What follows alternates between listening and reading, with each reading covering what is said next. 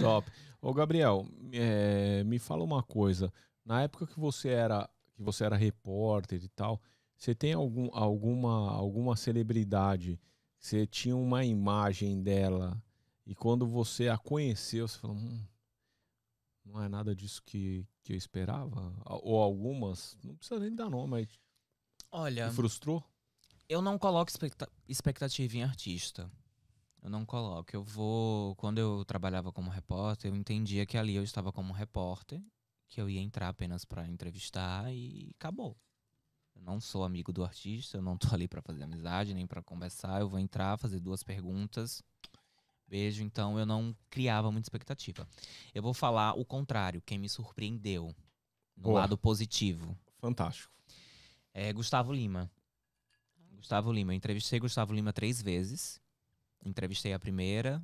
Aí acho que com um intervalo de uns três meses eu fui fazer a segunda entrevista com ele. E quando eu entrei no camarim, ele já me identificou.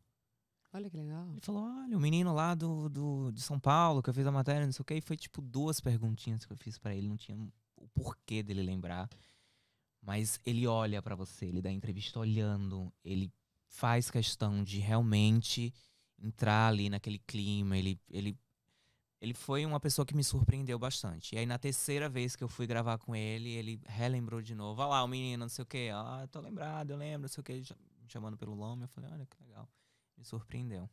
Que bacana. Qual que é, qual, qual, qual que é o... A Anitta também, Anitta, a, a energia da Anitta é assim.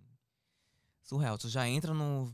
Parece que tu, quando tu entra no camarim dela, tu toma um choque. Que é, é tanta energia ali, é tanta eletricidade, é tanta. É uma vibe assim, sei lá, é massa. Não, Legal. não sou amigo, nunca tive tanta proximidade assim com ela. Só entrevistei ela uma vez na vida e, tipo, foi há muitos, muitos anos luz atrás. Tipo, ela nem era a number one. É, E, e na, na época ela já era estourada, mas sempre tratou bem. É eu, eu, eu já tive com ela algumas vezes, ela tratava todo mundo Normal. bem, normal. Marquetito, normal.